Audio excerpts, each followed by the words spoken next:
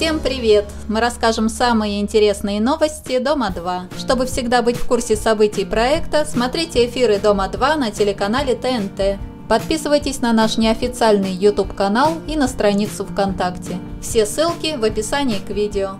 Лиза Полыгалова не нашла общего языка с девушками-служанками. Лиза пишет, «Служанки не приняли меня в свое тайное общество, аргументировав это тем, что я слишком высокомерная. Они дали мне звание королева Сейшельских болот, сделали корону и вручили зеленый фартук». Ирина Пинчук уже пожалела о том, что объявила себя парой с Сашей Задойновым. Она решила вернуться к Ване, и ребята снова вместе. Лиза Кардабовская пишет, Ваня снова сырой, удачи и любви и прочее-прочее. Пусть сами разбираются, кто с кем спал, кто не спал, это их жизнь. Ну а Саша, я думаю, вернется к Мексике, что ему еще остается. Марина Мексика хочет завоевать Сашу Задойного. Она написала в своем микроблоге. Нереально скучаю по обнимашкам с Задойновым, я чувствую его симпатию ко мне, но останавливает его одно – страх, что я несерьезно и брошу его. Но мне нужен исключительно Саша, я сделаю все, чтобы быть с ним. Катя Кауфман все-таки покинула остров любви, она улетела на поляну, оставив попытки добиться Венцеслава Венгржановского. Стали известны подробности драки между Ваней и Сашей.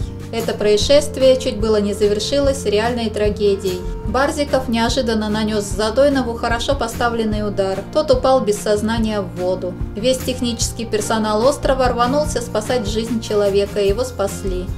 Проектный психолог Михаил Козлов пишет, «Безответственный отец двоих детей чуть не пал смертью храбрых на чужбине. Ну и какие выводы я бы сделал после этого события? В проекте побольше надо парней типа неагрессивного и интеллигентного Венца. Пусть он даже не так привлекателен для женщин. Секс и любовь – это не агрессия. А теперь перенесемся на поляну. Проект покинул Ваня Шувагин из-за работы за периметром. А Майя Донцова вместе со своей мамой Ириной, которая приехала пожить на поляну, будет выбирать себе на кастинге нового ухажера. Редакция сайта Дом2 рассказала о том, что Кристина Лисковец подозревает Федю Стрелкова в изменах.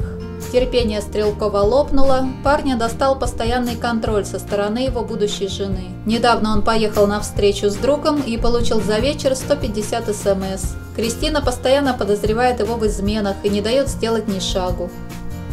Дима Дмитренко и Ольга Рапунцель в очередной раз расстались. Они оба собираются строить новые отношения. Оля принимает ухаживание от Саши Вейса, а Дима изъявил симпатию ко многим свободным девочкам.